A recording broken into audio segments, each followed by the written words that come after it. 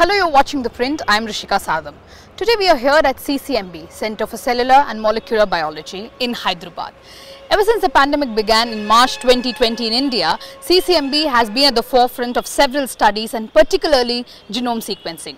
Today, even a common man is familiar with the term genome sequencing and probably understands its importance, its importance amidst several new variants that have been making way into the country. In fact, CCMB, 12% uh, of the sequences across the country have come from CCMB. So what is genome sequencing and what happens inside these labs where every time a new variant makes way, genome sequencing is done and not just that, also to understand if any new variants are prevalent, indigenous variants are prevalent within the country. Today we give you a quick peek inside these labs and probably an attempt to explain it to you that what exactly genome sequencing means and what CCMB has been doing when it says that samples are being genome sequenced in their labs.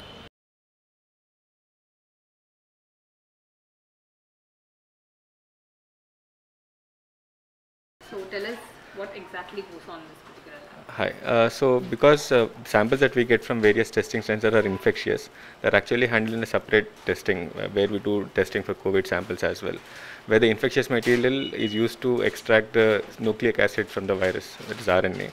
RNA, all, for all practical purposes, is not uh, really infectious, so that is brought over here.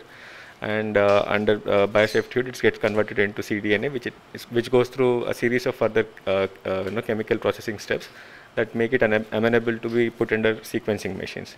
So that I'll show you So there. what's happening here is essentially the conversion of RNA into cDNA. Yeah. That's Library preparation. It's called the entire process is called library preparation, where the RNA is converted into uh, further downstream processed uh, chemicals, which can be put into a sequencer, uh, so that we, the sequencer can read what is the sequence information present in the nucleic acid. So once the libraries are prepared, they are loaded into uh, either of the machines that are present in this facility. This is called NGS facility. NGS stands for Next Generation Sequencing. In NGS facility, there are different kinds of machine. So some are very high throughput. Uh, the one there is uh, called NovaSeq 6000 from Illumina. That is uh, probably one of the most advanced sequences and high throughput sequences that is present currently in the world. And it can generate a lot of uh, data at a single time. So for COVID-seq, typically we will be able to process about 750 uh, samples in one flow cell run in that in that machine. So here there is uh, another machine from MGI. It is medium throughput. So depending on the read, the, uh, the number of samples that you need to process and the speed at which you need to process, we decide on which platform to go for and then process the samples in such a way that we can load them and we get the sequences uh, from the machine. So uh, essentially, uh, let me say, so there are like you know DNA has four uh, you know letters which code uh, the entire uh, the, sequence. So each letter is probably tagged with a specific color. What essentially the sequencer does is that try to tries to capture the color and infers that is the uh, nucleotide molecule at that particular position in the genome of a, uh person or a virus, whatever it is.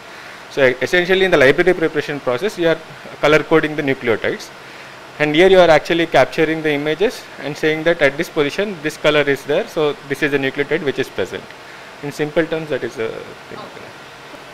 So this is called NovaSeq 6000 uh, so it is probably the most high throughput and most widely used machine uh, across the world for uh, you know, large scale sequencing and large scale spe- sequencing project.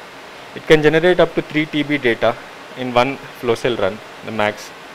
Uh, so uh, and 3 TB is lot of data. It's equivalent to say running 30 to 35 human genomes and several thousands of uh, COVID uh, sequences if you want.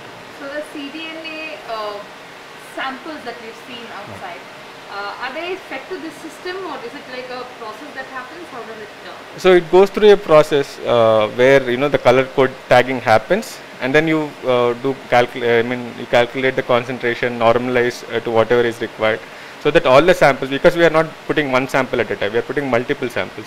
So all samples get equal represent- representation, and that uh, because uh, these are extremely small, right?